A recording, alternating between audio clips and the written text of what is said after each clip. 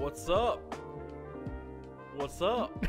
Absolutely nothing. Absolutely nothing. That's correct, man. Um, welcome to episode 19 Chatt with Gunner, live right here from Terminal 57.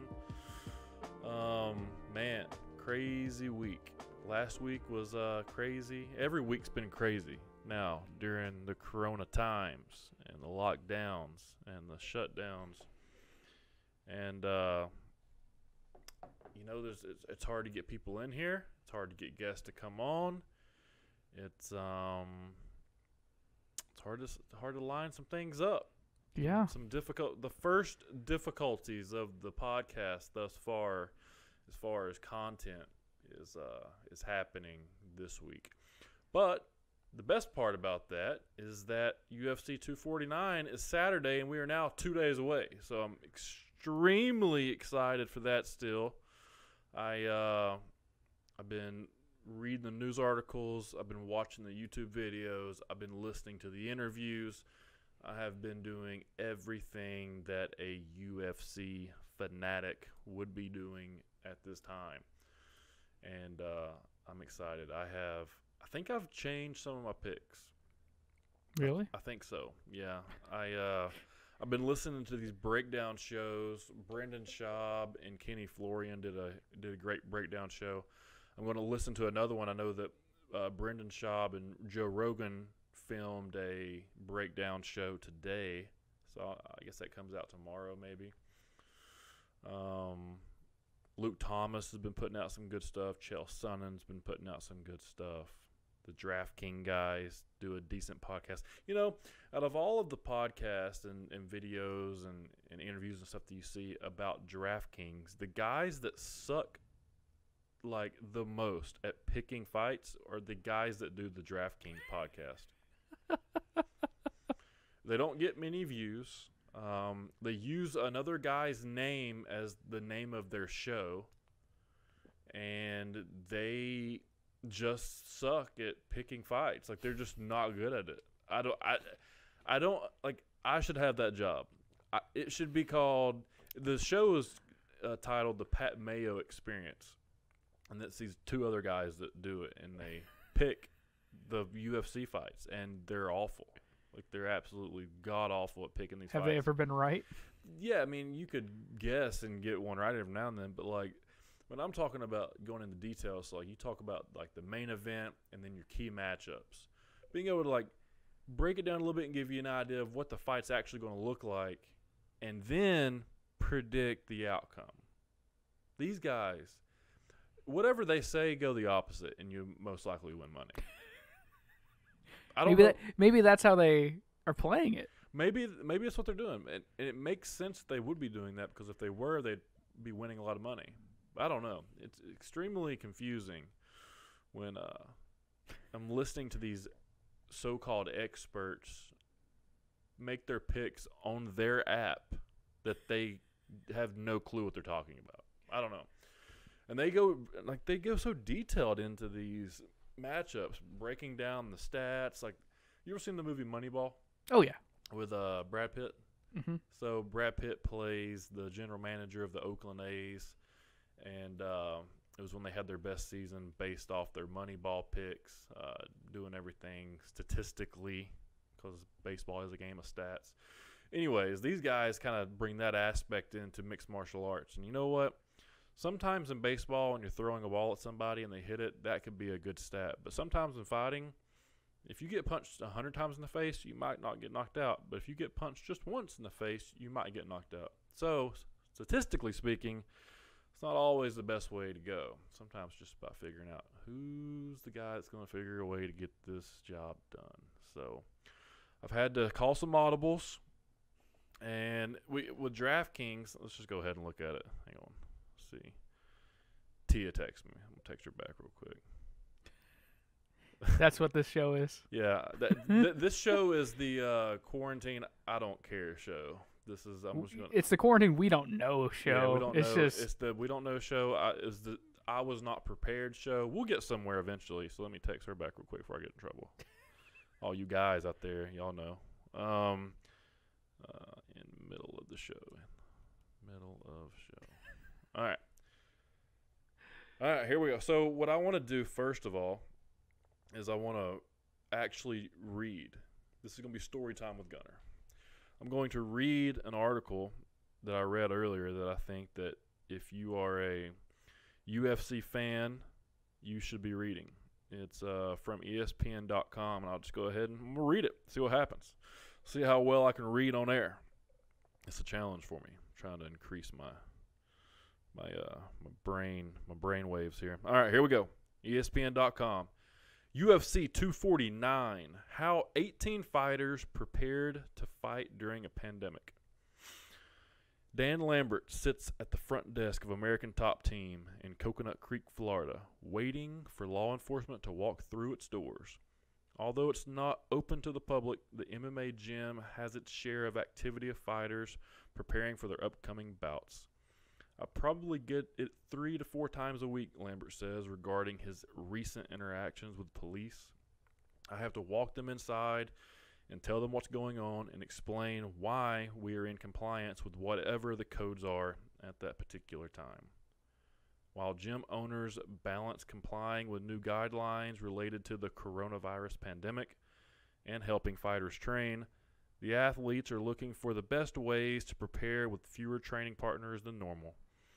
That's one of the main storylines for UFC 249 on May 9th in Jacksonville, Florida. Finding out which fighters were able to get the most out of their training during these unprecedented circumstances. Only fighters who have upcoming bouts can train at American Top Team, and typically, busy mats are now used sporadically and cleaned often. For me, it's actually kind of good because I get a very specialized, specific training from my coaches.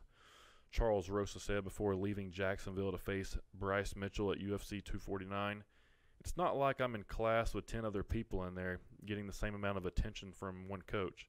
It's still kind of weird. Like, did I do good enough? It's a risk I have to take this fight. Instead of training at Jackson Wink in Albuquerque, New Mexico, fighters are training outside in the mountains, hitting mitts, or training at home.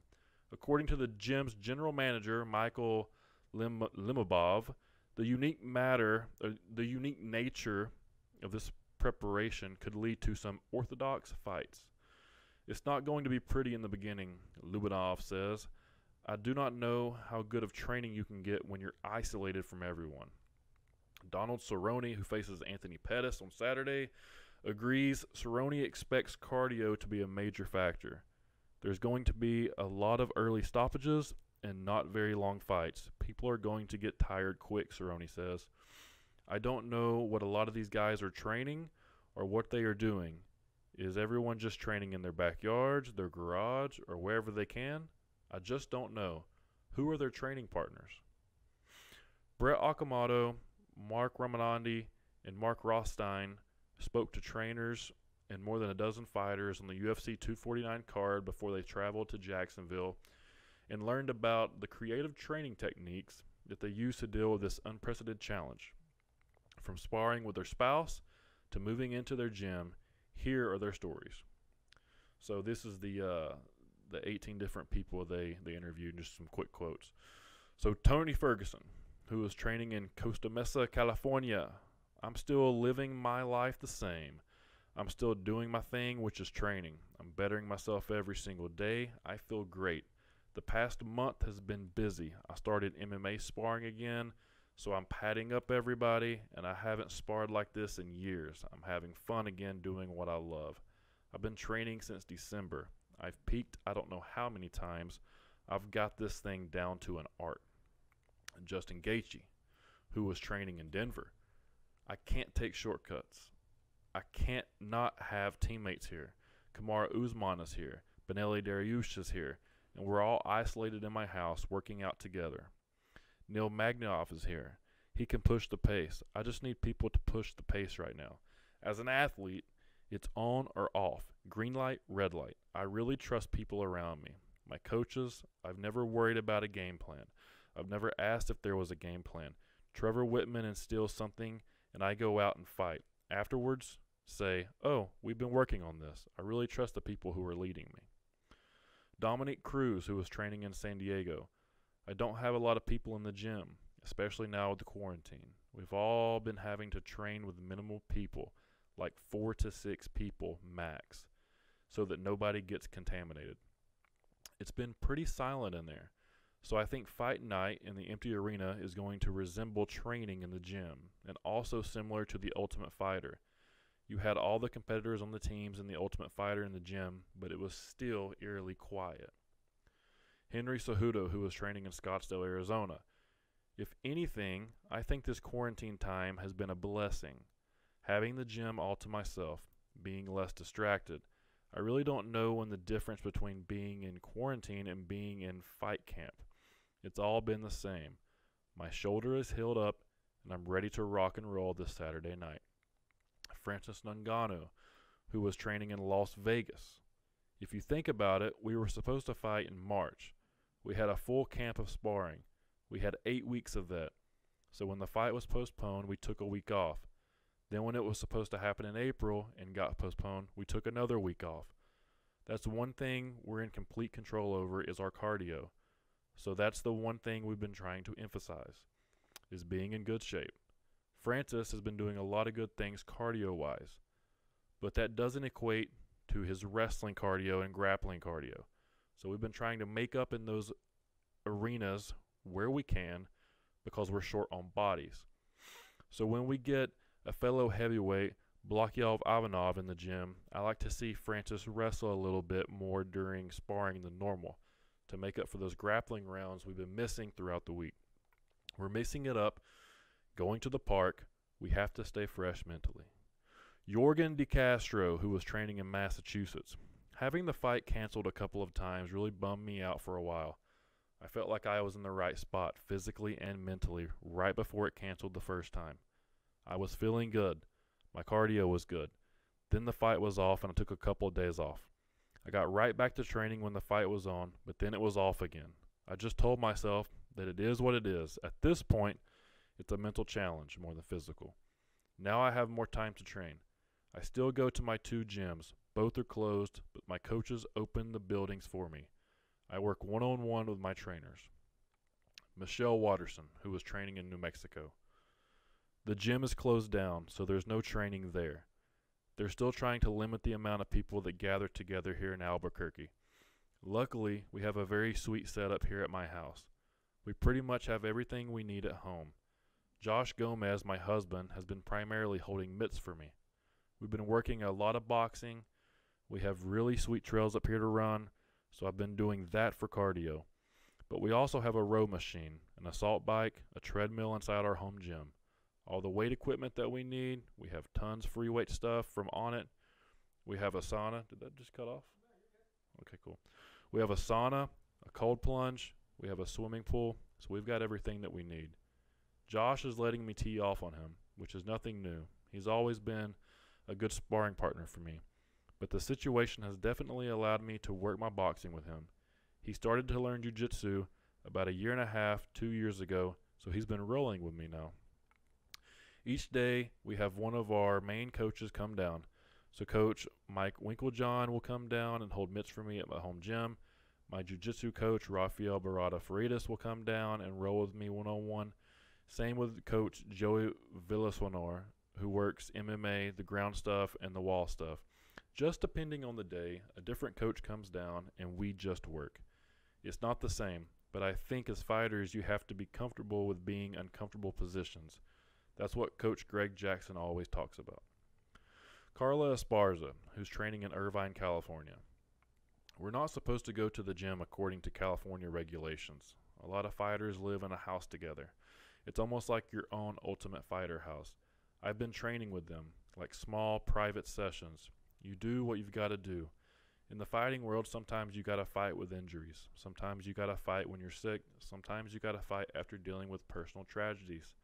The situation is new, but bumps in the road and crazy new things are not new. I think I'm having a good training camp. I don't have access to all my coaches. I would say that's probably the biggest part of it. It's just not having access to all the people I normally would. My strength conditioning coach, Mike Safi, has a newborn baby, so he's been staying at home. I haven't been doing certain things. It's been tough.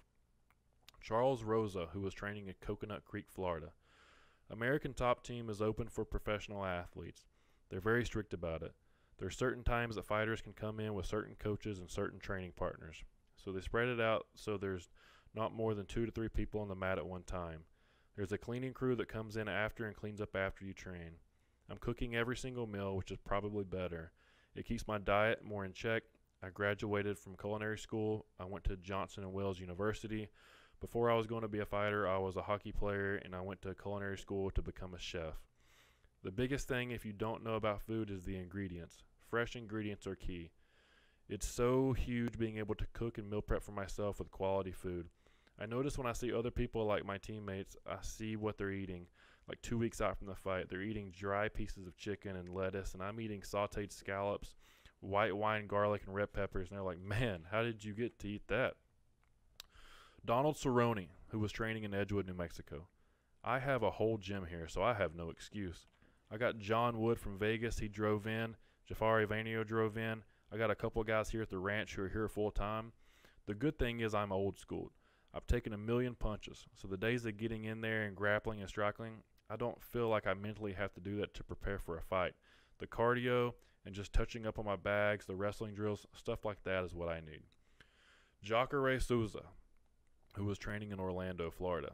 I think we're doing good. I will be ready. My camp is very good right now. I'm training hard. I'm resting good. I'm eating good. I lived in the gym for many years when I was young in Brazil. Now I'm back. For me, I'm back to normal. My home is my gym. I'm just a little bit strange for me because I have a family now. I have kids and a wife, Larissa. But my coach comes to help me, and I have training partners come to my home too. I've been working a lot with Joshua Distek who trained Paulo Filho when he was in one of the best in the world. I have weights. I have my wife's CrossFit stuff. I can't leave my home right now. Maybe it's better for me because I leave to eat hamburgers and not train hard. I don't like this, but right now I'm strong because she forces me to train. I don't like when we train together because she kills me. Calvin Kattar, who is training in New England. We're just ready to go at this point. We've been training since January 5th. Things are a little more remote. The groups are a little more exclusive and limited, but still the same amount, if not more work. And just dialing in with the guys we have. Everyone is focused. It's a good distraction from what's going on. For most of this camp, we traveled all over like we do in a normal camp. We trained in four states Massachusetts, New Hampshire, Maine, and Rhode Island. In two countries, the US and Canada. As it got closer and closer, we tightened it up. I've also been working remotely with the UFC Performance Institute in Las Vegas using Omega Wave technology for recovery. There's an app on my phone and a device they gave me. I hook it up, or I hook up EKG pads to my thumb and forehead, wire it to the device, and it connects to my phone app. It sends the data to a more in-depth database where UFC Director of Sports Science Romain Foreman is. He's in charge of this type of stuff. He analyzes all your data more in depth and gives you feedback on how you're recovering. Him and Heather Linden, the UFC's director of physical therapy, have been awesome. They're both monitoring our workload for training optimization. I've been listening to what they're saying and sending video to Las Vegas boxing coach Jimmy Guilford and Joe Valentini. I feel like we've got a lot of good feedback on the work we're putting in. We got a lot of eyes on the camp. We're just dialed in at this point and ready to go. Uriah Hall, who was training in Dallas. I know I wanted to get a little bit more uncomfortable, so I decided to move into the gym on April 6th. It's like that Rocky mentality. I have a blown up mattress. I have everything I need here. My teammate Ryan Spann has got a place from Airbnb. He's actually fighting on the card. He's got a big house. He's got a room and everything. He told me to come down and stay with him. I chose not to. It's comfortable. I'm not in the mood to be comfortable right now. I do what I've got to do. My boxing coach Clayton Hires will be flying from flying in from Vegas. We'll be working together and he'll be in my corner. A lot of people are comfortable, whether it's yourself or whatever you're doing. I ain't got time for that. I've locked myself in with my demons. I sat them all down and I'm giving them instructions. Ryan Spann, who is training in Dallas. We're taking extra precautions to make sure we keep it real low key and stay safe and healthy while I train for this. It's a little different. There are some adjustments, but we're making them work. We're having the gym cleaned, cleaning up after ourselves, showering, and making sure when we clean when we get in there. We're getting some good work in there. The people that I work with, like UFC fighters Alonzo Menifield and Geoff Neal, are there at the gym. We're getting the same work. It's just a smaller group. It's really the stop start part that has been the biggest challenge. I don't care who I fight, where I fight them. I've been going so long at this point to the stop start. We're supposed to have Ovince St. Preux at UFC 247 on February 8th, but he got hurt. Then it was going to be Paul Craig at the UFC London on March 21st, and that card got canceled. Who am I fighting now? Oh, Sam Alvey. They moved the Alvey fight from April 18th. It Just start, stop. I cut a shit ton of weight for the original fight with Alvey on just two and a half weeks' notice. I lost about 13 to 14 pounds. Uh, I'm on track though. Even though I cut a lot of weight a few weeks ago, I was on track to have one of the easiest cuts I've had. I think this time it's going to be real easy too. My strength conditioning coach, Mike Scacia, is a mad scientist and he's coming out there to Jacksonville with us. He's going to help me with the final steps of the process, the rehydration, and everything. It's going to be nothing. It won't be fun, but it'll be nothing. Sam Alvey, who's training in Temecula, California. The biggest difference for me is I don't have to teach any of my kids' classes or my team's classes at Dan Henderson's Athletic, Athletic Fitness Center in Temecula, California. That's really been pretty helpful. I've had more time to do other training. It's really been the easiest camp I've ever had because I didn't have to teach anything. This is the first time I've ever had that be the case. I've been able to get a bunch of different gyms. I've had plenty of training partners, a lot of them who just travel with me. We get to work together just at different locations all the time. I've been working with Tom Galakikio, Joe Stevensons, and Dan Henderson. He's been giving a helping hand, but I've had a, quite a few training partners. Anthony Pettis, who was training in Milwaukee. The first week, everybody was skeptical. I made everyone send me their temperatures before I cleared them to come to the gym. As the weeks went on, it just kind of felt more normal. I felt like I'm in a training camp without the distractions. I own businesses. When I'm in training camp, usually, not only am I worried about the fight, I have to make sure my gyms are doing right and are afloat. My barbershops, my sports bars, I have a lot of shit going on. With this one, nothing is going on because my businesses are closed. I literally just have to worry about fighting. This time I was really forced to reinvent my training camp. If you just take a normal week on a professional fight team, you all train at 1:30 p.m. There's 20 people on a team, probably 10 high-level guys. That practice is made for 10 guys as opposed to one guy. This whole training camp, every single practice was catered to what I need specifically to win. It feels good to be in this spot mentally. It's the easiest training camp of my life. It's weird to say that. This quarantine opened up my eyes. It made me slow down. I had to slow down, pull back, and look at my life from the outside. It made me simplified. I think for me, honestly, this was a blessing to do training camp this way because it forced me to reinvent it. I own my own gyms, so that's a blessing for me. Training partners, and I had to be very selective, and that's what I loved about it. This time, it's like, okay, I need this guy, I need this guy, these coaches. From now on, I'll do my training camp this way. My main training partner has been my little brother, Bellator fighter Sergio Pettis. Fabricio Werdum, who was training in Los Angeles. The pace of training is very good although it is not normal without the usual routine of going to the gym. Master Rafael Cordeiro is doing online training with me on Skype, on Zoom. Cordeiro is also coming here traveling two hours from Big Bear. Ricardo Tesfaye is here and he's helping me a lot. He will, he's my sparring partner. He comes and goes, sometimes he stays for a day or two. My brother is right here with me. When there is no one to do the sparring or anything, he does the gauntlet.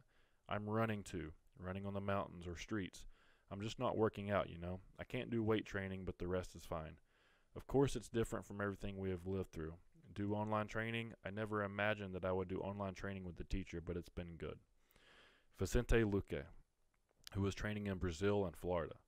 I have good teammates, good training partners, but we're managing and limiting the people in the gym to just me and one other guy.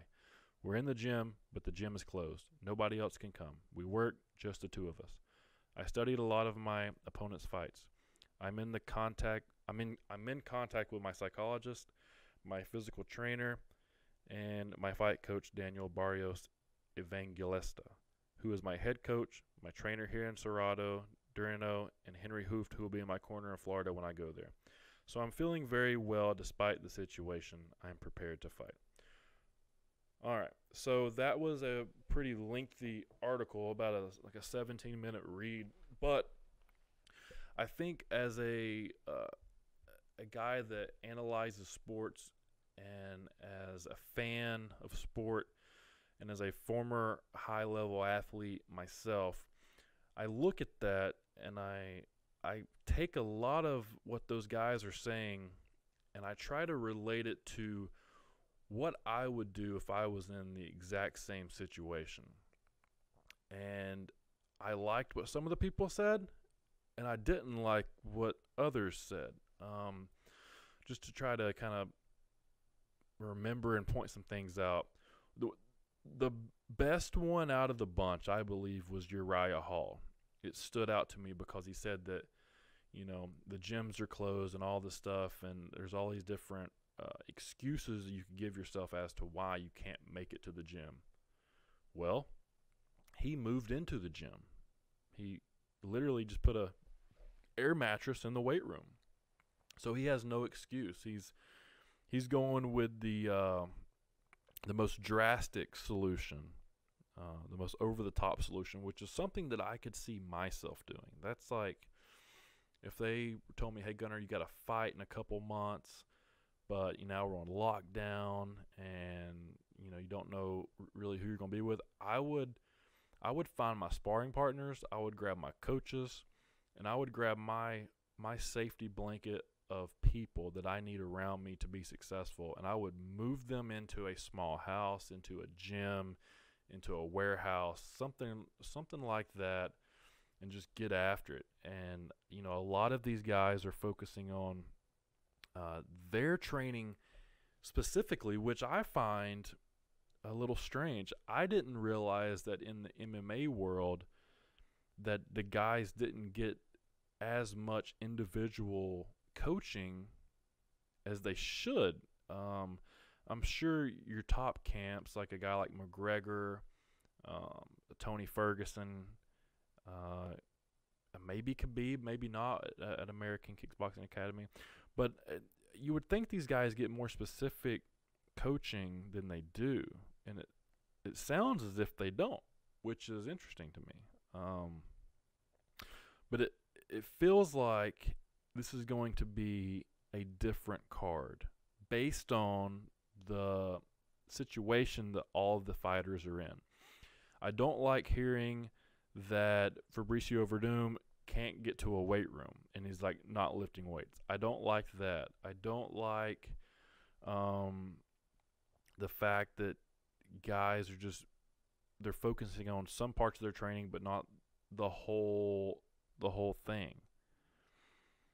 It's strange. It's uh it's made me that article is the reason why I have decided to change a few of my picks for the fight. Um, what I actually want to do, I want to read off my DraftKings because um, several people have reached out to me from last week's episode asking me to to give some picks. So let's go ahead and, and do that. We've got uh I put four lineups out, I believe. No, I put more than that. One, two, three, four, five, six. I put six lineups out um, because that's how many weeks we didn't have DraftKings. So I decided to go ahead and just put them all on this one.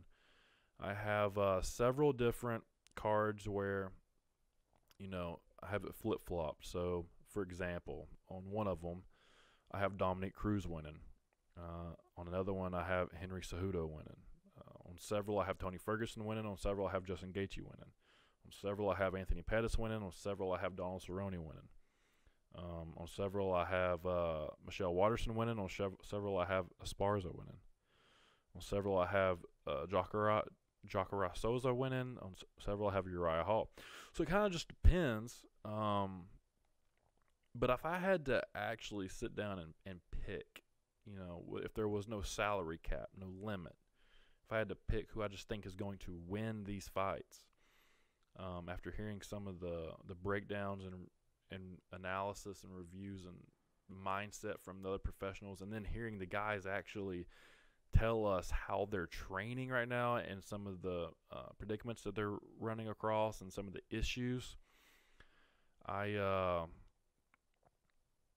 I have a different outlook on it, and I think that the main event, Tony Ferguson and Justin Gaethje, is a trap for Tony.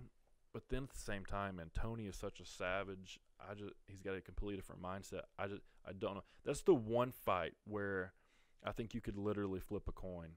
Justin Gaethje could knock Tony out within the first two rounds, or Tony could wear him out for five. And it could go either way. Story of both those guys' careers. Um, the cardio worries me a little bit. I know Tony will be in shape. I don't know about Justin uh, as far as his training and stuff goes. So that's why I say two two rounds. Brendan Schaub and Kenny Florian brought up some great points as it regarded Dominic Cruz versus Henry Cejudo. And it was that they think that Dominic Cruz is going to get the job done. Now, if you listened to this show last week, I was gung ho on Henry Cejudo being like one of the my for sure wins. Looking back at it, if Dominic Cruz fights the fight that Brendan Schaub and Kenny Florian talked about on the uh, Below the Belt podcast, I think it's going to be hard for Henry Cejudo to pick this win up. I actually think that Dominic Cruz could be the odd favorite in this one. Um, so I've switched over to Dominic Cruz, I believe, on on that fight, and the Bryce Mitchell Charles Rosa fight. I didn't know that Charles Rosa was training out of American Top Team, and I don't know how well Bryce Mitchell is being able to train at the moment. So I think any other time these guys would fight, Bryce Mitchell would be the guy to go with under these circumstances, I think Charles Rosa might be the guy to go with. Um, so I, I, would I would change my pick to him. As far as uh, Carla Esparza, Michelle Waterson, I'm 100% sold on Carla Esparza now, based off of her wrestling background and Michelle Waterson's lack thereof, and the fact that she's train she's sparring with her husband. You girls can't spar with guys and get uh, the same look that another girl would give them. It's just there's just something to that. Like you, just because you you know you're a 135 pound girl and you're sparring with a 135 pound guy, there's n- no comparison there. That it's still not equal. Um, so it's hard for girls to train with guys, in my opinion, in any sport. So with that one, I got Carla Esparza, and then what? Let's see, the Greg Hardy, the De Castro fight. That's gonna somebody's getting knocked out. It's gonna be up in the air. But uh, the Donald Cerrone Anthony Pettis fight, it's kind of got me thinking as well. You know, Donald does have his own gym, but so does Anthony. So like they they've both been in the game for a while. They both have their own gym. They're both doing their training for them. Cowboy says he's not sparring, so maybe that has something to do with getting knocked out so much here recently. I think that Anthony Pettis is probably going to get him again and I think Cowboy is about done. Um, but I thought that was a really good article by ESPN to put out, and, and it, it's just very interesting right now to look at this whole thing. This is the first first sport back, but even at some of the biggest facilities, the cops are coming in and having to like do walkthroughs and check the facilities and make sure that people aren't too close to each other and they're following the social distancing guidelines. I don't know. It's uh strange times for me for sure. So there there was a little bit more of a an in-depth look at the UFC 249. Ethan, anything else going on? Not really. Not It's really. been a quiet week. as far as in the fight world, I saw uh, Mike Tyson posted a video of him hitting mitts, and he's going to do a comeback fight at 53 years old, and he's like actually in good shape right now. I mean, has Mike Tyson ever not been in good shape? He, there, yeah, there's been some times um, he's put on a little bit of weight. Like in September last year, he wasn't in good shape. Now he's like sh- jacked again and ready to fight. It's strange to me. The only thing about Mike right now, Mike's he you know he owns his own weed ranch and owns like he's got all that going for him, but he's also like big into DMT with Rogan. So he's he's on out there right now. But he says he's mentally he's in a better spot now than he's ever has been. So that's kind of cool. Um, what else is going? On? I saw where Evander Holyfield was thinking about coming back out of retirement as well. That'd be a cool fight. to See those guys get back at it in their fifties. That'd be cool. Um, what else? I saw that uh, not in sports news, but in uh politics. So, I guess uh, the White House, or not the White House, but Donald Trump has a new press secretary. Again. Well, this was as of April seventh. So Okay. pull pull her up, see what her name is. I actually I might have her here. She's a uh, she's a stud, bro. As far as like, she's a lawyer from Harvard and fairly young. What was her name? Kay. There you go. Kayleigh McEnany, McKinney, um, oh, McKinney. McKinney, maybe I think so. dude she you need to find this video it's pretty short of the uh, media attacking trump for you know saying back in like january or february that what this covid-19 wasn't going to be a big deal and they wanted to know like what she thought about him saying that back then and then she just it was like she was waiting for that question and she just lit the media up with like everything that they had been saying from the Washington Post and the New York Times and the CNN and MSNBC and all these different uh, news sources of them saying that it wasn't going to be a big deal, wasn't an issue, this is a joke, that type stuff. She goes, so when you guys uh, decide to answer why you said what you said, then maybe we'll have the president answer why he said what he said, and just kind of mic dropped him and walked off. So that was kind of cool. Hoorah for the Republican Party there. Um, man, what else going on? Anything else going on in the world? I don't know. Not really. I uh, I meant to tell you. So I reached out. I don't know if you saw the email.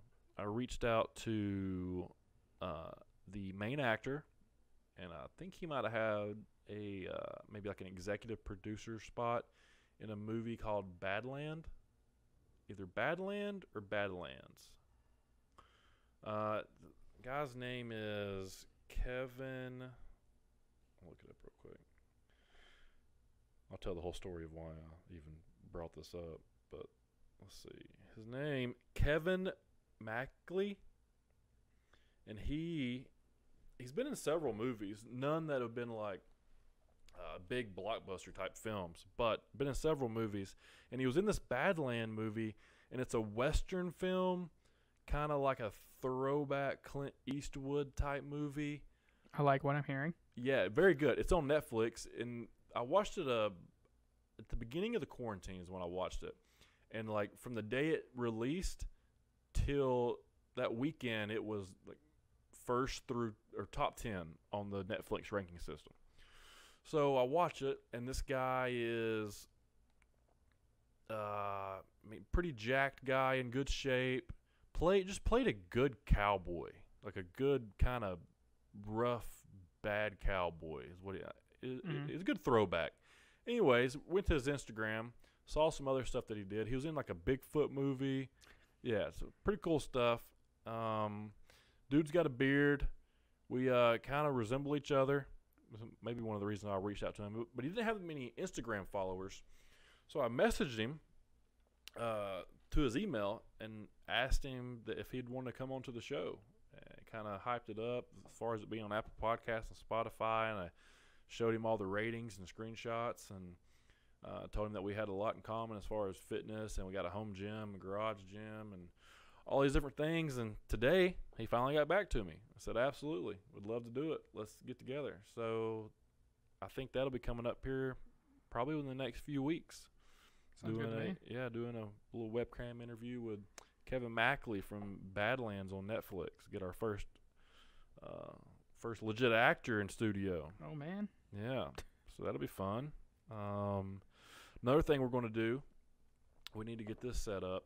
It was going to be tonight, but we moved it last minute. Um, my buddy Jacob Huesman, quarterback UTC, he's going to he's coaching right now at UTC, and he's going to get with Jay Blackman, who's our media guy, and get some of our old game film. So what we're going to do is I'm going to get some of the guys to come in here that I played with, and we're going to throw up some old games, and we're just going to like do like a fight companion, but from some of our old film, and just kind of I don't hate it. yeah. I don't hate that idea at all. I think it'd be great. Oh yeah. And with with us owning the or having the actual uh, film, we'll be able to put it up where they can see the game in the background and us kind of commentating and talking about it. Shouldn't be a problem. Oh, yeah. I don't think. No. So that'll be fun. That's kind of coming up. Um, but that's about it. I don't think anything else. It's a short show. It's not much to talk about. Elon Musk was on uh, Rogan's podcast today. Oh yeah. It's so good. Yeah. I was- can't I I I got new headphones. Yeah. What'd you, what headphones did you get? I got uh some uh, Anker headphones. They're Okay. wireless. They're like eighty dollar AirPods Oh, okay. basically. They're so nice. yeah. And I was just like, what do, what am I going to use these headphones for first? Yeah. Joe Rogan's podcast. that was the first thing I thought of. I was like, Yeah. I just want to listen to people talk. Yeah. That's all I need. Right. And that's uh to me that's a good barometer for hearing Oh yeah. uh, in in new headphones is how well can I hear somebody talk? So do those headphones? Does it cancel out any noise at all, or is it just kind of? It's it, not mm, uh like digitally. Mechanically, it's just It in your little bit. headphones. Yeah. So, I've I've been through some headphones out there. I uh the ones I have right now I like the most are the Project Rock. The, Of course. but not because of the the sound quality. It they literally like stick on your head. Like they Oh, don't, yeah, yeah. like you could run, jump, do a flip. They're not gonna come off. Where I've had the uh the s- I think I had had the Sony headphones, the nice ones, Yeah. and they were incredible sound quality, hmm noise canceling. Sony is one of the best. Like it's Sennheiser, Sony, and I'm forgetting the third one that I always yeah Bose. I always go to looking first, Yeah. and then realizing I don't have the kind of money for those headphones, I'll bring well, it back. I was just I, I, that was like one of those stupid decisions I made, and I I've had like the uh the Beats. I think the Beats suck. Beats are good for what they're what the demographic is of like heavy bass Yeah. and listening to music. Yeah. I don't always listen to music. Me either. so- I I like to put headphones in and like watch a movie. Or, like, Exactly. you know, like like I just want to zone into that movie, Mhm. whatever it is. Anyways, so yeah, Elon Musk is on uh Joe Rogan's podcast today. I listened to about an hour and thirty minutes of it. I'm about halfway, I think. I don't know. Didn't realize by the time I got here. It's uh it's good because you you it's hard to see how smart Elon Musk is by listening to him because he as far as like his uh language comes across or like the way he communicates you wouldn't think that he is as smart as he is but I feel like his com- his brain his computer I feel like it just is moving faster than What he can talk.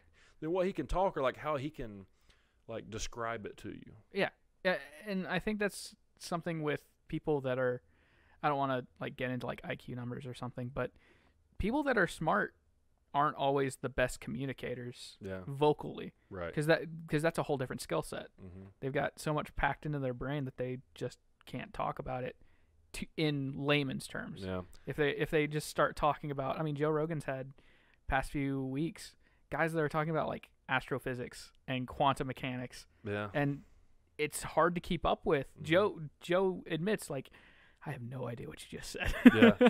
but like that's that's how you have to talk about it sometimes. Yeah. And with stuff like Elon, what he's doing, like Neuralink and stuff, Yeah. it's it's a level above. Yeah, it's interesting. I mean, to think that potentially, he says within a year, but potentially, s- let's just call it 10 years.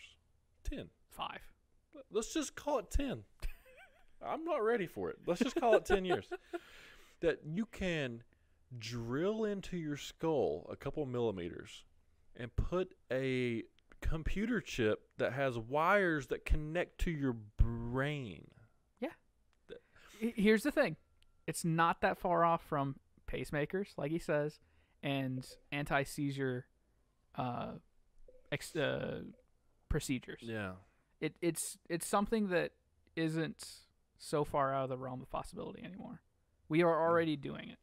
I I think that the way he's saying it should be used as far as medically is yes, but what's going to happen, like anything, is we're going to take this and say, oh, well, this is the new iPhone. It's called iBrain. iBrain. Yeah, you just hook up your. It'll be really shitty after about five years. Yeah. Good luck. Well, and the uh, well, we were talking about in uh, several episodes back where we were talking about um, being a uh, Cyborg. cyborg. Yeah. that's I mean, that's, the next step. Yeah, it it's it taking. It, I think he said it on the last time he was on Joe Rogan, taking the phone away, where the phone is part of your brain, part of your body, Yeah, whatever. And I- I think there was a step of the step before this was Google Glass, even though people hated it because it had a camera on it and yeah. breach of privacy or whatever. But Right. like having hands-free information beamed to you from your glasses yeah. that's something else. That's that's a that's another step that we weren't ready for. Now, whether we're going to be ready for Neuralink, where you can be on your computer in the middle of nowhere, yeah. that's interesting. Well, and then he he was mentioning that, you know, how far are we away from not having to speak to communicate? Within eh, ten years, Yeah, and we're not For sure. talking about texting or like, you know, email. We're talking about like reading each other's thoughts, like having. I mean it, it it's still going to be some sort of like interface within Neuralink. You'll Yeah. you'll probably he- be able to hear somebody when they're thinking of something and they're trying Yeah. to beam it to you. But the fact that you don't have to use your mouth, make sounds like a bunch of monkeys just using words and making noises. yeah, it's crazy. interesting. I don't know. I don't know if I like it at all. I don't know if I want to be a part of that whole movement. I, I- mean, I think I'm gonna be honest here. I'm ready for it. I'm Uh, down for it. I mean, I guess I don't know, man. I nobody's drilling into my skull. Um, and I'm Well, don't they'd have to get through the three inches first. yeah, and I don't want uh wires connected to my brain. Fair enough. I mean, like that that is the weirdest part is that it's going to be such a risk to take because you're drilling into your brain and putting Yeah. wires in it. I don't that's not lost on me. It's Yeah. just the idea of what it could do beyond that. so now let's break it down. Let's take it back to what we were talking about at the beginning of the show, which is the UFC. I wonder if Neuralink would be like what you see in all those sci-fi movies where the fighters know like what punch is coming and they know they get how Sherlock to vision. They, yeah, they know how to duck and where the angles are coming from, the degrees and the force and Here's the the power. thing. It, we we haven't been able to do it because nobody wants to get I, I'm not I'm not sure if anybody wants to get in the cage with a, a robot, nor do I think we have a robot that can fight people yet. Hopefully not. You ever seen Um, RoboCop? I mean, I have, but like, we haven't seen the computational degree at which a computer can fight somebody. So, I don't know if that's if it's applicable yet on that scale of Neuralink. But I think there there is going to be somebody's going to be able to punch harder and run faster and do a lot of things better than just a normal human because a computer is sending the pulses instead of your brain. Well, yeah, everything that we do is an electrical wave. Um, something electrical is firing in the Mhm. brain in order to, you know, everything that we see, smell, all of our senses are all, you know, Just electrical electrical. chemicals So, and electrics. If you can, uh, if you can mess with that a little bit, that could get a little bit interesting. Well, I mean, what if, say, you're trying to say lift a hundred pounds? If you've never done it before, you probably won't be able to do it. But what if there's something in your brain that the computer can just flip a switch and just tell your tell your muscles keep going, even if you're ripping yourself ripping apart? Yeah. Well, you know, there's something to that. There is uh, a type of visual training that a lot of people are going to these days, like a like a meditative type training, or a uh, a lot of you know sports teams will practice without the ball, walkthroughs. Yeah, but it it sounds stupid, but it makes a lot of sense. If you if you can get all the movements down without the actual uh, you know tool or equipment that you're using to perform the sport. Once you incorporate that, it should just be smooth. And if you can, they say that like if some Olympic swimmers and Olympic athletes, they would just every night as they're going to sleep or they take 10 15 minutes of visualizing themselves winning whatever sport they're playing and they were at, uh, hooking them up to these brain wave reading machines or whatever MRIs and stuff like whatever it was. And like when you could tell in their dreams or in their the movements of the the brain patterns or the waves when they like what they were doing in in their thoughts based on like it was activating certain things in the brain the same things it would activate if you were actually doing actually running actually That makes sense. yeah, so there's something to that, and I know that like uh, when I was in college, they'd always say like if I had a big lift coming up the next day or a max out day, I would try to visualize myself lifting that weight, and if I had any second, any second guessing or any, like any doubt that I couldn't do it, I couldn't. That, that's still that's still like true today. If I don't think that I can do something, it I can't do it. That's fair. Isn't that weird? I mean, it makes sense Uh, because you're not gonna- you're not going to be all in. Yeah, I mean, there's a there's a realistic aspect to some of the things that I think I can and can't do, and some things I'll kind of surprise myself, like I think I can do that maybe, but if I know I can't do something, I can't. Uh, it just won't happen. So Yeah. I try to I try to be smart with the way I train, especially when I have like a training partner. But um, yeah, it's interesting to, to see if we could almost like. Uh, have you ever seen Limitless? Yes. Great movie. Great movie. Well, in that movie, they they speak about how, and they talk about this in studies too, about how we only use ten percent of our brain, or fifteen or twenty. it's not true. It's not true. Uh, they they say that we do have access to the majority of our brain, which uh, Majority. who knows what anybody's talking about. To be honest with you, nobody nobody really knows the brain. I think the adage comes from like the 10% of your brain comes from the idea that you can only focus on one thing or two things or a set number of things at a time Yeah, and your brain can't do everything that you do in a day yeah. all at once. Yeah. So to that point, literally multitasking is not real. No. you can do several things at the same same time and not do them well. Yeah. But you can only do one thing at a time, even Yeah. if that one thing is at one second, and you do the next thing for the next second. Exactly. You're There's- not able to just Yeah. There are there are some people that can like play multiple chess games all at once. That's interesting. They can paint different paintings at the same time. Yeah. but I don't think they're actually doing two things at once.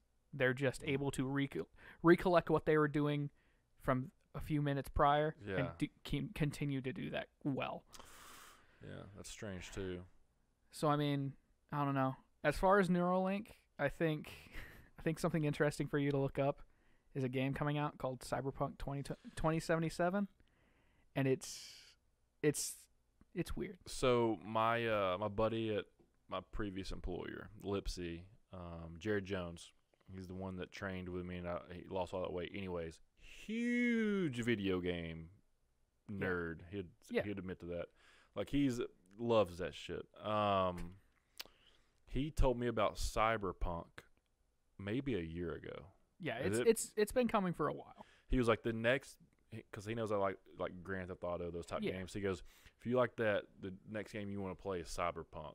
And I was like, okay. And then Yeah. so I saw a trailer for it the other day. It's it's real weird.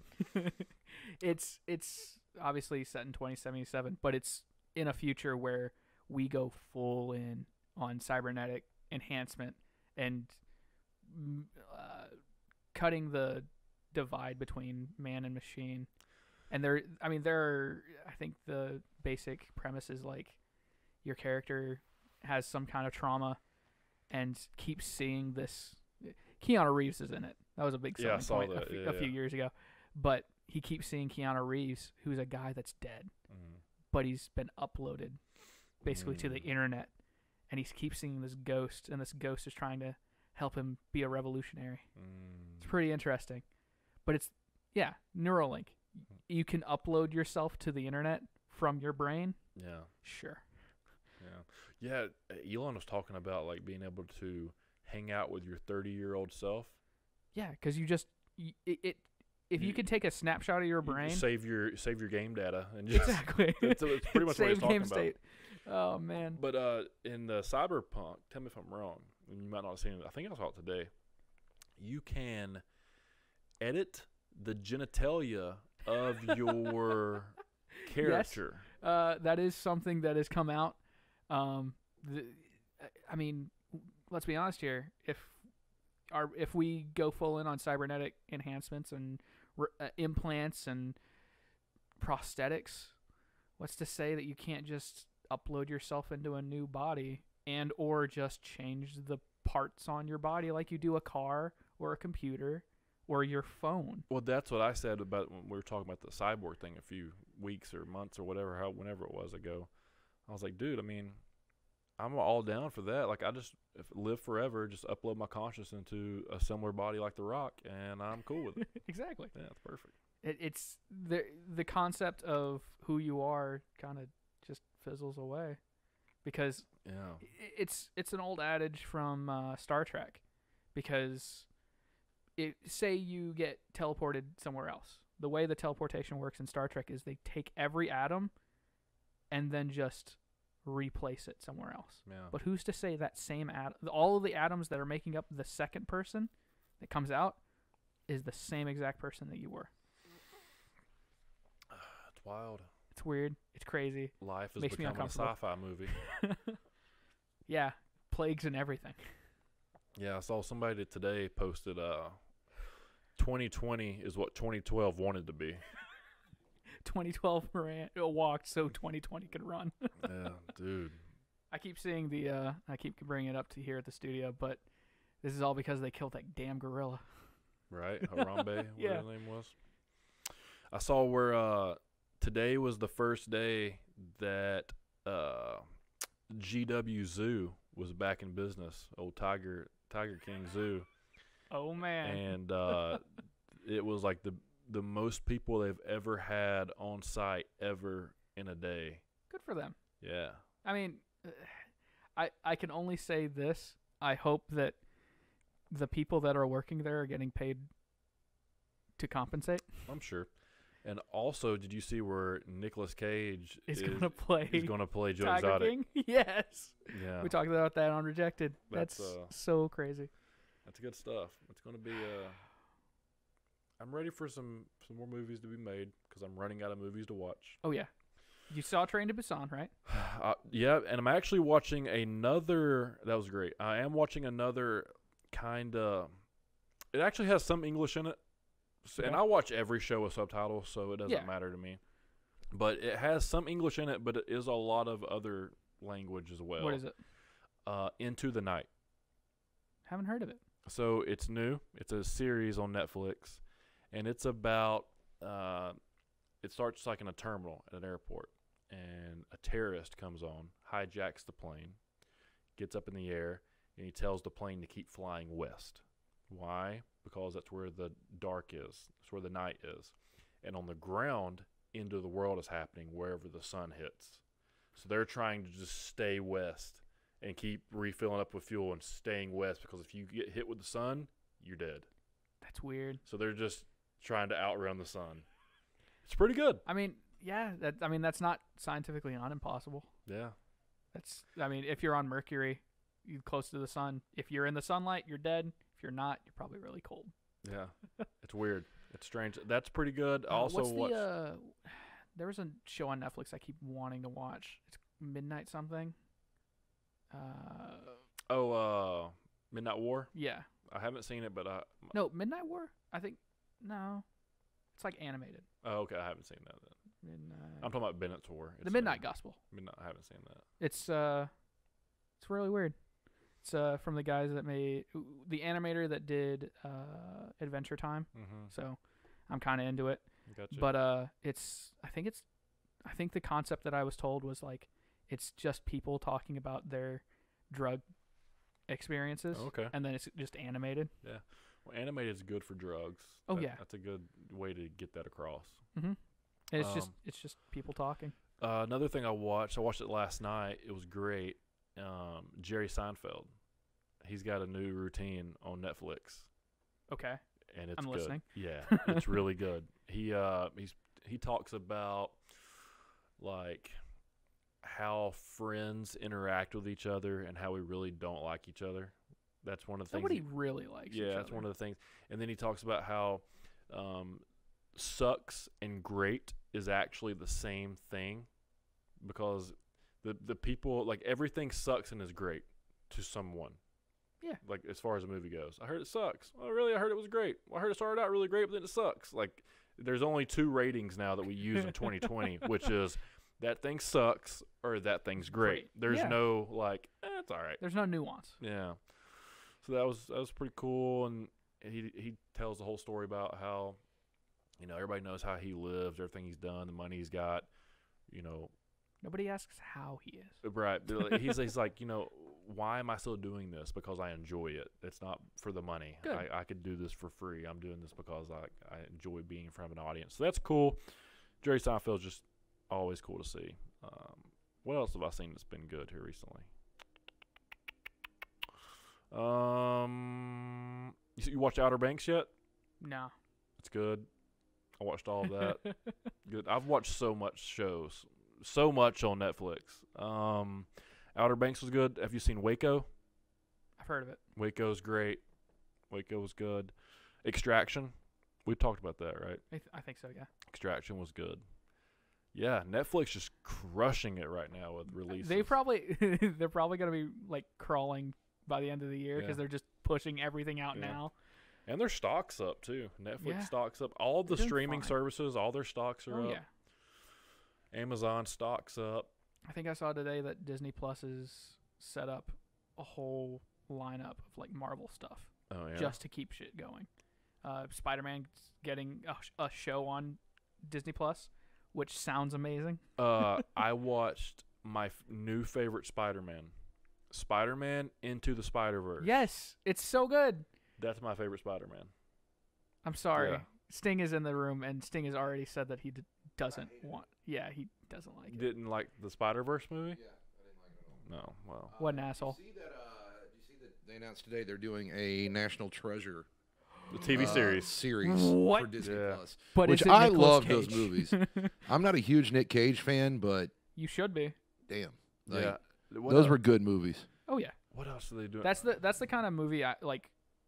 I don't know alternate history that I like is like Yeah. it's not conspiracy theories. It's not like super crazy. It's just like history, but what if? Yeah. Um, they were doing a. Uh, I see they're already filming Mandalorian three. So that I mean when does Three yeah? So when does season two come out? season two is supposed to come out this fall. Yeah, they're so, supposedly they're already in the works or filming season three. Yeah, or, Dave Filoni just wrapped up uh, Clone Wars, which was a big deal. Mhm. That was just on May the fourth, which was Monday. That's the animated. Yeah, the animated series. Which I'm gonna be honest with you, if you even semi like Star Wars, the beginning of Clo- Clone Wars is like an anthology series. It's just like the stories that happened during the Clone Wars. But by the end of I think the third or fourth season, it starts picking up of like, okay, let's tell a con- cohesive story where you're following Anakin and Obi Wan, and you know Darth Sidious and all of the people. Darth Maul comes back. It's, it's the show that makes Darth Maul everyone's favorite nowadays. Uh, I got you. Uh, and here recently, obviously, Clone Wars leads right up to Episode Three, Order sixty six, got you. and it was supposedly really fucking good. And I haven't I haven't sat down and watched all of it. what the new Star Wars? The Clone Wars, there's like seven seasons. Oh yeah. Yeah, Wow. 20 episodes close to of the first few. I've got a list of like here's the episodes you need to see, Oh, okay. and it's still a really long list. Jeez. um, another show that has a bunch of seasons and episodes is Grey's Anatomy. You guys ever watch that? Uh, my mom used to be into it. So I didn't realize how old it was. Tia just started watching Grey's Anatomy. Why is everyone on Grey's Anatomy right now? I, I'm assuming because it's on Netflix. And it's kind of like when Friends was on Netflix, and you know, Yeah. it's kind of Which reminds me, HBO picking up Friends and like a Didn't they- bunch of other didn't stuff. they get South Park? yeah, I think so. That's crazy. Yeah. One thing that you guys need to watch, if you like Grey's Anatomy, same creator, but the show is just phenomenal, especially if you're into politics. Is Scandal. Ooh, I love Scandal's Scandal. really we already good. we finished. Scandal. Yeah, yeah. Scandal's great. Yeah, Scandal's incredible. I haven't watched the whole last season, but So we t- before you came in here, we were talking about the uh, the new press secretary for the White House. yeah. Um, What happened to what's her name? well, I think it's, it's who? It wasn't like McCain or whose daughter was that? No, it's it's McCa- it's she's been there since April seventh, so she's been there for a No, month. the new chick that was the press sec, or the old chick that was the press secretary. Wasn't she like Rom? Not Romney. I don't know. The new one is Kayleigh McEnany. Anyways, she's very intelligent and she's uh extremely like bitchy with the reporters, and I love it. It's great. Um, but she reminds me of kind of like the chick from Scandal. Like I could see that whole thing happening. Oh, where it was she- Mike Huckabee's daughter, Sarah Hu- Sarah Sanders. Oh, Yeah. okay. Yeah, Yeah. it was Yeah. Mike Huckabee's daughter. What happened to her? I have no clue. I think I, I think I remember hearing something about it. She was just like, I think Corona nobody's happened. listening. Nobody's listening to me. Yeah. Like, what's the point? I mean, that's fair. Yeah, yeah. it wasn't. It was less Trump and more the press. Yeah. And I, I, you know what? I get it Yeah. because I could imagine one being anybody in Trump's uh, office, but let alone having to talk to the people that hate Trump the most. Right. Fuck that. Crazy times. Crazy times. Um, Scandal was good. That chick is also in a good show on Hulu now. Uh, Kerry Washington. Kerry, yeah, Kerry Washington She's also hot. and uh, uh, Renee, or no, Renee Reese Witherspoon are in a show on Hulu called Little Fires Everywhere or something. It's actually good too. If you're into chick flicks, I got you. You hook up. Hey, you know what? Gotta watch a- two or three of them. Yeah, I like them. I dig them. Tia does have to sit through UFC, doesn't she? Yeah, and she's gonna sit through it this Saturday. Is what she's gonna do. She was, she already texted me today. She was like, "Hey, um, when is it gonna be off?" And I was like, well, first of all, let's talk about when it's gonna start. And that's gonna be about six o'clock, and it's gonna go off about two. Jeez, I love it. I can't wait. of course. By the way, did you guys see Halle Berry drop "fucker" on Sports Center? Yeah, so that was great. Was that not awesome? Yeah, Chris and I actually watched it live here. that's awesome. Like, there was no dump button on that. It was just like, okay, cool. Was she Nope. talking about the the BMF belt? Is that what- is that when she said it? Yeah. doing UFC. That's Yep. awesome. All right, Ethan. I want to wrap this up. It's already eight tired. o'clock. It's already it's eight. It's already eight o'clock. Yep. It was a long night. We got started late. Um, it's all right though. So this is episode 19. Chatt with Gunner. Do us a favor. You know the drill. Go over to YouTube. If you're new, hit that subscribe button. Hit the bell notification so you know when the videos are uploaded. Head on over to Apple Podcasts. Scroll down, see where the stars are. Hit five stars. Leave a review. Leave the best podcast in Chattanooga. If you don't believe it, just don't leave a review. Don't be the dickhead that leaves a one star review because we've had three of those. And if I find you, I will stomp your. Okay, relax. Calm down. Anyways, leave five star reviews. Spotify, uh, if you only use Spotify, get an iPhone. But you, should, I mean, if you can leave reviews there, I haven't seen them. Try it. Um, from what I noticed over the past week, to be serious, um, the Apple Podcast was the number one platform from last the last two weeks' shows, which is strange because it's usually been YouTube. But Apple Podcast is proving to be the number one outlet so far. So, all you Apple Podcast listeners, I appreciate you. Um, all you uh, people that are not pulling up the YouTube page, do that. That'd be awesome. That'd be great. I think that this is fun. Yeah, like anything, it's going to take several years of consistency before it's even anything. It's in its infancy stage. It, we are actually the we're in the the sperm stage. We're just being shot in. right? Yeah, we're just being shot in and being, being developed right now. We're like we're still in between like an egg and and even a fetus. We're just No heartbeat yet. no heart, no, no heartbeat. No heartbeat. You could, yeah, yeah, yeah, yeah. You could, I mean, you could. At this point, th- this thing could still be aborted. No worries. Wouldn't be an issue. Nobody'd care. Um, Oh my we god. we get a few more episodes in, and we're we're here. Yeah, you can't get rid of us at that point. So if you're law trying, or no law. yeah, if you're trying to pull the plug on this show, you better figure out a way to do it real fast because it's gonna be here for a while. That's pretty much what we're saying. we're gonna come out with a hairy beard on our face and, and hair on our legs, and we're gonna be we're gonna be a little bit of both. We're gonna have both chromosomes coming out of this thing. We're gonna we're gonna be a little bit of both. That just what? Yeah. This podcast is going. this podcast, when it comes out, you're not going to know what it is, but it's going to say, "I don't, I don't." Uh, sorry, my phone's ringing. Work calling. I don't. Uh, I don't consider myself a guy or a girl. That's what this podcast is going to say. This podcast is. I consider myself just the best, and uh, the best Is that what you say, Gunner? Yeah. Is that a is that a Gunner quote we can put on a T-shirt? Oh no, absolutely not. Yeah, this, this is a gender neutral podcast. This podcast is going to be kind of like uh, Caitlyn Jenner.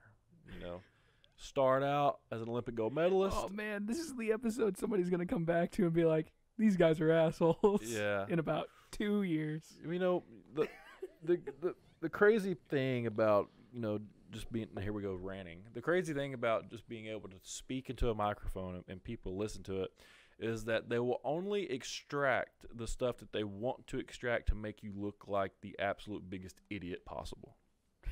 So this is probably the stuff that will come up in 20 years when I'm running for Congress. I was gonna say, there goes your presidency. Yeah. Yeah, you know what I'm saying? Oof. When I'm when I'm trying to be the mayor of East Ridge. East Ridge. Nah, dude, they'll all agree with you. Chattanooga, You're come good. on now. Yeah. All right. All right. Go for broke. Episode 8 of 19. 19. We'll see you next week, episode twenty. Uh, So things coming up. We're gonna do the uh, the UTC um, football companion shows where I get some of my boys in here and we're gonna watch old game film, tell stories, locker room stories, party stories, all the cool things. And then we've got Kevin Makely, I believe is his name, from the actor from Badlands, wanting to come onto the show. We'll probably do that via webcam. Talk about how you stay in shape in Hollywood, how he's going to get his big break, and what it's like producing a number one rated Netflix film. So we'll talk about all that. But until then, we will see you next week. Right, with you.